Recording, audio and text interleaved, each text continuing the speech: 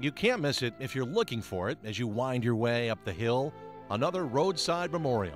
There are scores of them, but this one is different a cross and a hockey stick.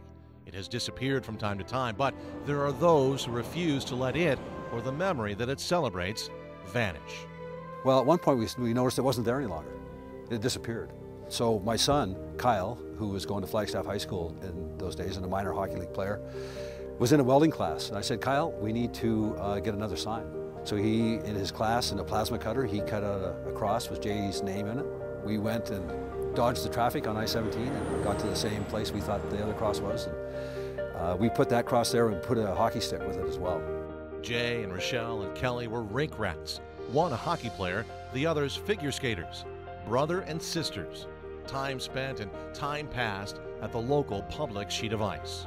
Jay and I were here from the minute the doors opened. And it didn't matter if there was five inches of snow or 60 inches of snow, we were here and we would stick our skates on our hands and we would plow up the hill just to get here.